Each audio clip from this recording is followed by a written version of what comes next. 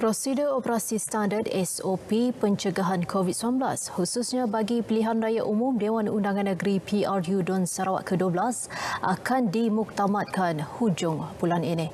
Menteri Kesihatan Kari Jamaluddin berkata, perbincangan dengan Setiausaha Kerajaan Negeri Sarawak telah diadakan mengenai pelaksanaan SOP berkenaan.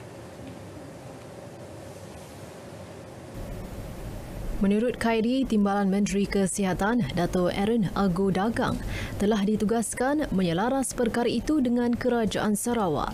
Jelasnya ada beberapa perkara perlu diperhalusi sebelum SOP berkenaan diusulkan kepada Suruhanjaya Pilihan Raya SPR. SPR menetapkan 18 Disember sebagai hari pengundian bagi PRU Dun Sarawak. Hari penamaan calon pula ditetapkan pada 6 Disember manakala hari pengundian awal pada 14 Disember.